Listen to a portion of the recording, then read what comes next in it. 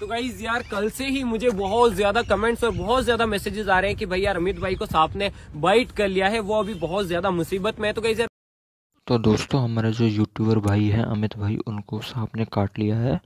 वो साफ़ सफ़ाई कर रहे थे तो उसमें जो सांप था, उन्होंने, उसने सांप ने जो है, उनको काट लिया है।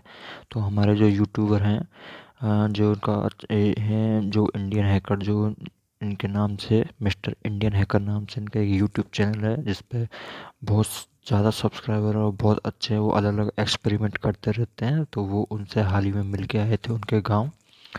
तो वही इसमें बता रहे हैं तो देखिए वो क्या कहते हैं।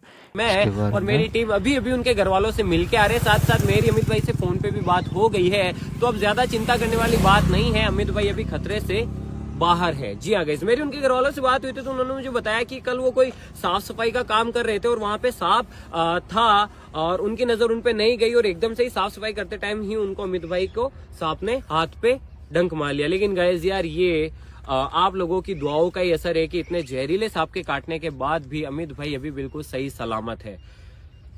बस यार गाइज़ और क्या चाहिए? ऊपर वाले का लाख लाख शुक्र है। कि आ, अभी सारी चीज़ें सही है। मैं आपको अमित भाई से भी मिला था लेकिन यार अमित भाई को भी थोड़ा सा रेस्ट करने दो। अभी अभी तो आ, वो थोड़ा रिकवर हुए तो अभी उन्हें रेस्ट करने दो यार। जब वो पूरी तरीके से ठीक हो जाएँगे तब मैं आपको उनसे मिला दूँगा। आपकी भी वैसे तो वो खुद ही आ जाएँगे यार खुद ही वीडियो अपलोड कर देंगे जो भी उनके साथ हुआ उस सब चीज़ों के बारे में। बस मैं एक ही चीज़ आप लोगों से रिक्वेस्ट करना चाहूँगा कि यार प्लीज़ कोई भी इस चीज़ को लेके कोई भी फेक वीडियो मत बनाना यार। ये एक ऐसी चीज़ है जो किसी के साथ भी हो सकती है।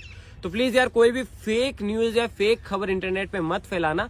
मैं आपको बता रहा हूँ कि मेरी उनसे बात हो गई है। अभी वो खतरे से बाहर है और जल्द ठीक हो जाएँगे और जल्द लौटेंगे। बस यार, कोई फेक वीडियो मत बनाना प्लीज़ यार।